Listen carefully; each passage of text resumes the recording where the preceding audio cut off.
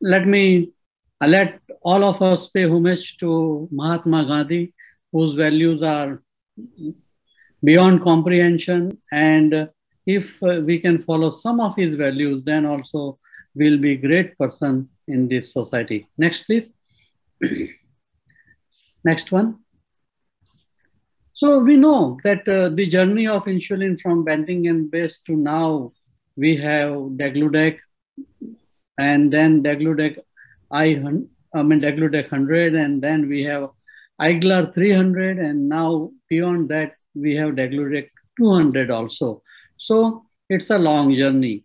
And let us see what has actually happened, why this new development has happened all across the years for uh, management of uh, type 2 diabetes and type 1 diabetes. Next, please. So we know that NPH was effective for A1C reduction. Then glargine was introduced in 2000 and that was U100, which was also effective in A1C reduction, but in comparison to NPH, low risk of hypo, once daily dosing and lower variability. Followed by that, we have Detemir, and then all of you know about the Degludec. And now we have insulin glargine 300 also in 2015. Next, please. So this is the overview of my agenda.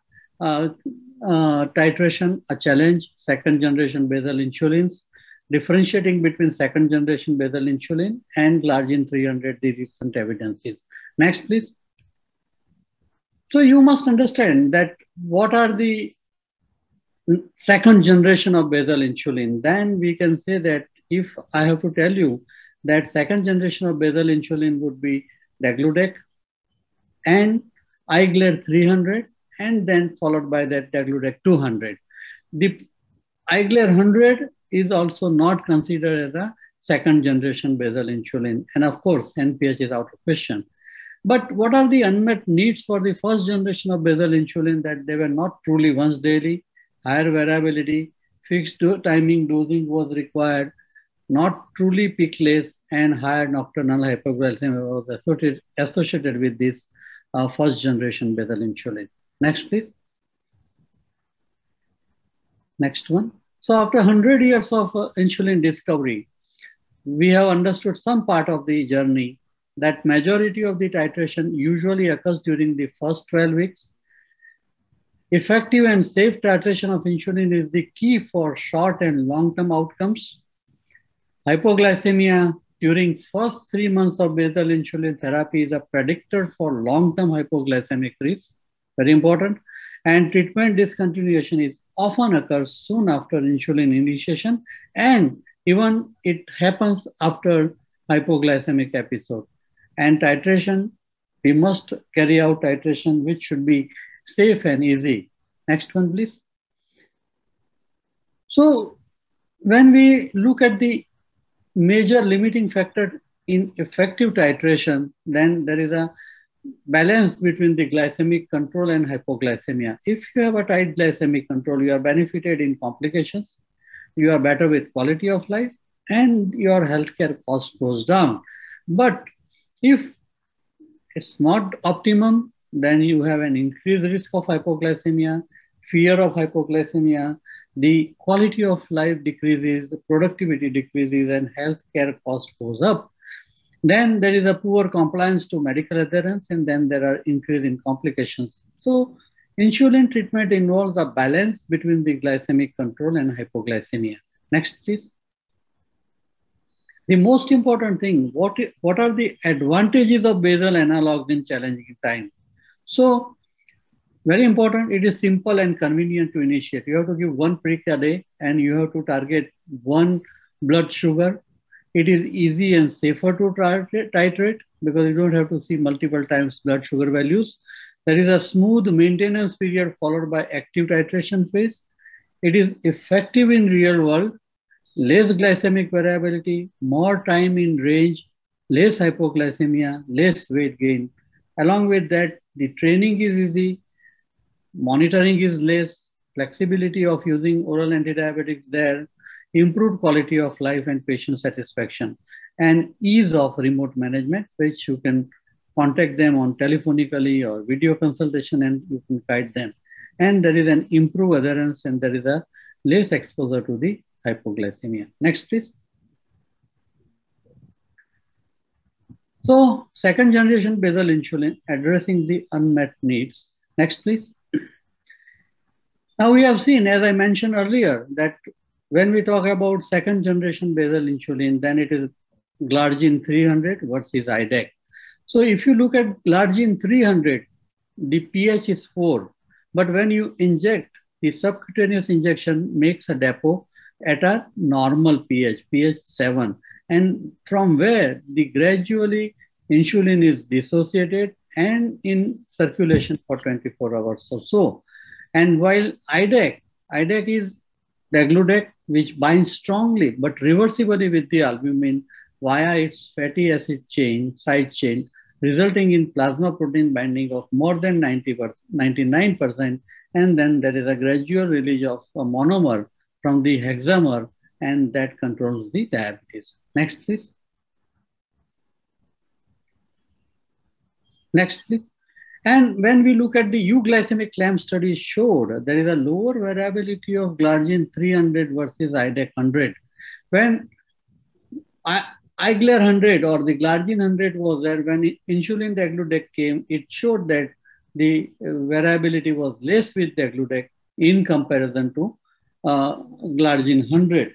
But when we look at the Glargine 300, and IDEC 100, then there is a 20% lesser within day variability with Glargine 300 in comparison to uh, IDEC 100. And within day variability, you can see here at the dose of uh, 0.4 units per kilogram per dose in euglycemic clamp study. Next, please.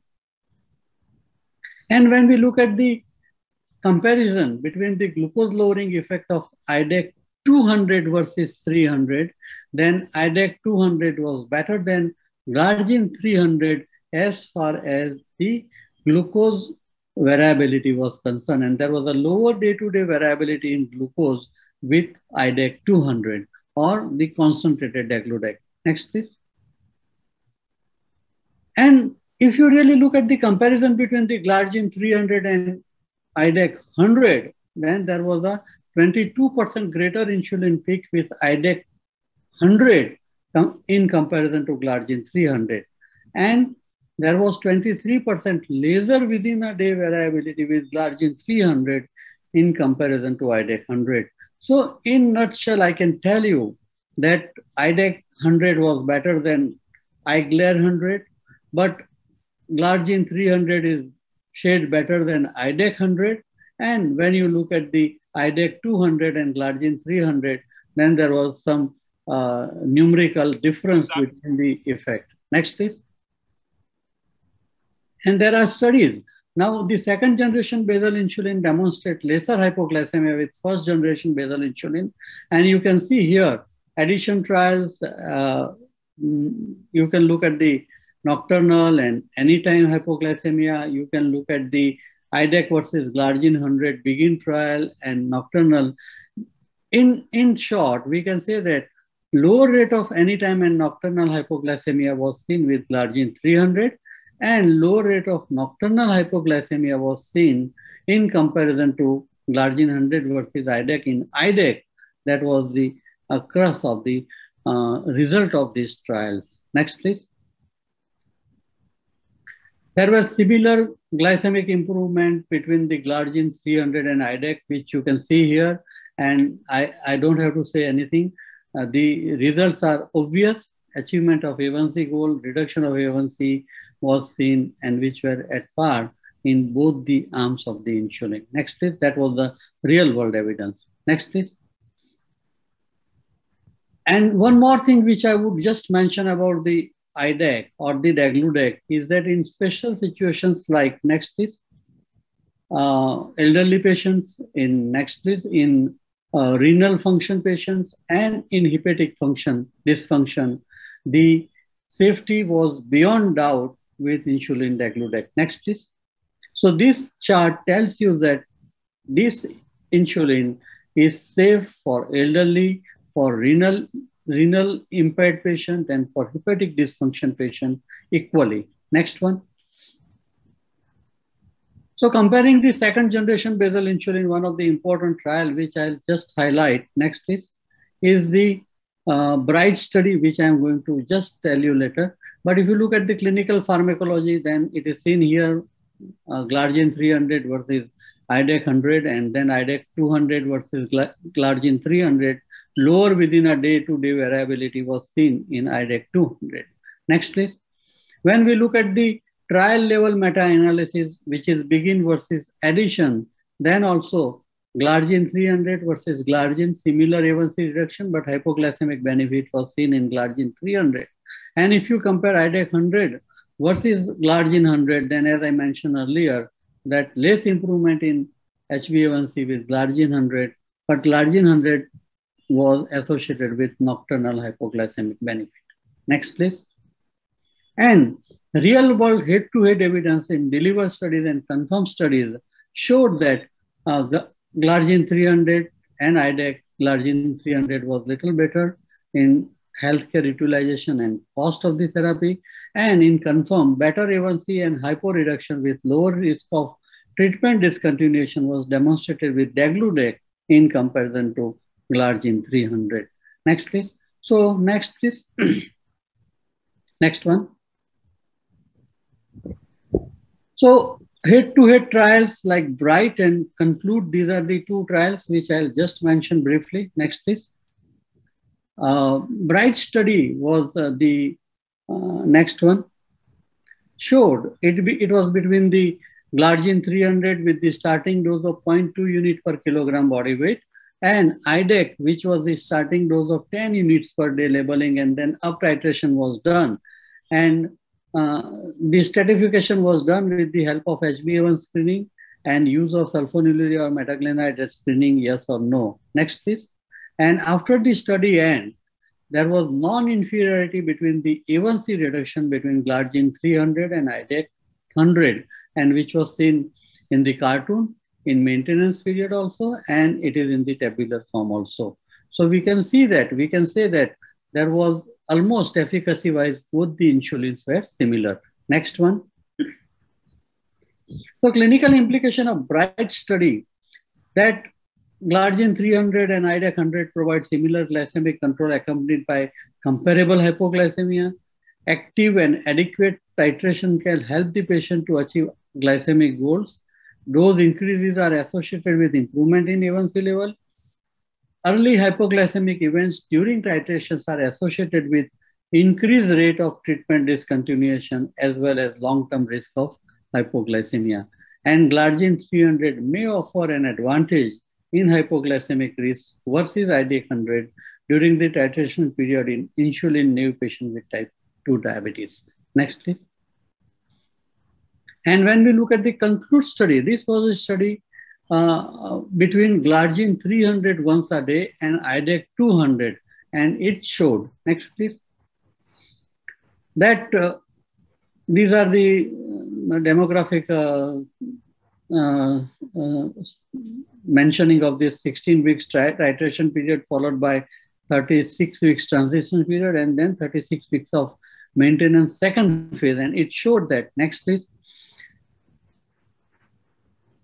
that primary endpoint was not met in this trial.